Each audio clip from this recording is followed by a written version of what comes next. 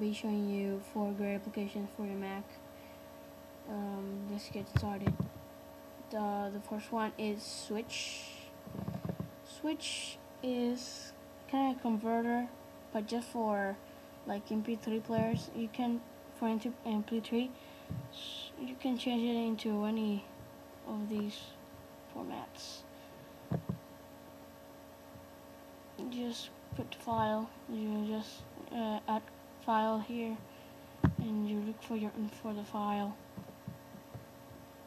And put it there and put it in any format you want. Okay uh, the next one is UnRarX uh, what UnRarX does is if you got a like a raw file raw file um, you just grab it here. Look for it and you open it and it will it will find the application or file that you just unrolled and you can use the file. Uh, okay um, the next one is Rapido Start.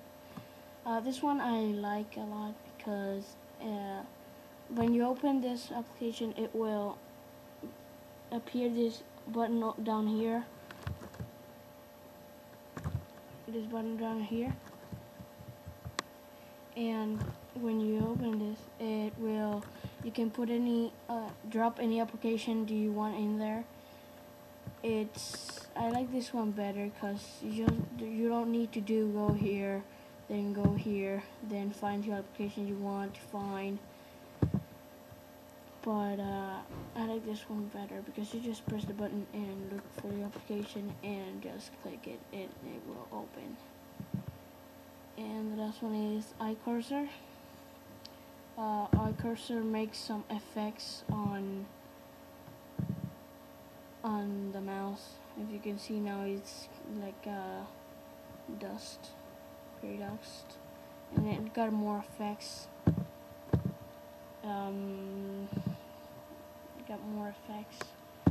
There's a lot, a lot of effects. There are more. And more. And more. And more. And more. And more. Um, I hope this video helps you. Thank you for watching.